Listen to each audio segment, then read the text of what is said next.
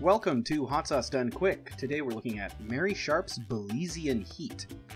Now, on the back of this sauce, there's a warning that says not to feed it to the elderly or the weak. I'm not sure what they consider weak. Is it someone who can't squat their body weight? Is it someone who cries when they see a emotional scene in a movie? Who knows? But let's put it on a chip and try it out. So, the first thing that stands out with this sauce is that it has this nice carroty undertone. Uh, and when I check the back, yeah, it absolutely does. It's like the second ingredient. So that would make sense. Other than that, it's standard Marie Sharps. Lots of tomato, lime, garlic, habanero, all the like. Uh, it is on the hotter side of the Marie Sharp sauces, so take that with caution. Anyways, hope you're not too elderly or weak to try this. Thanks for watching.